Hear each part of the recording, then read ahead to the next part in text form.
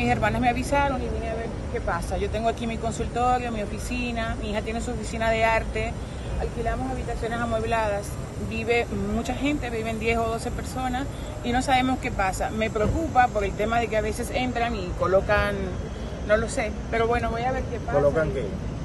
No lo sé, no se sabe nunca. Se, se habla de trata de personas aquí. ¿Ustedes tienen algún, algún hotel o algo? Nosotros alquilamos apartamentos amueblados.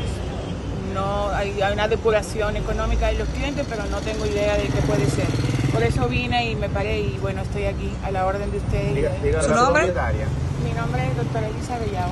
Es la propietaria. Elisa Bellao.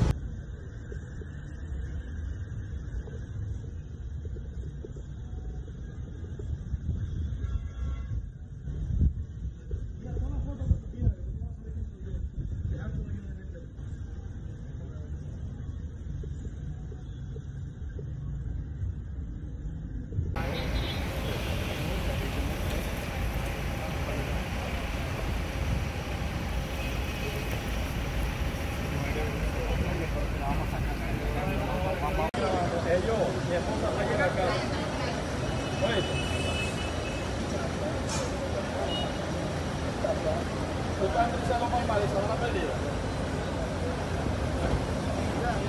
Kita ni saluban balik sama nafid.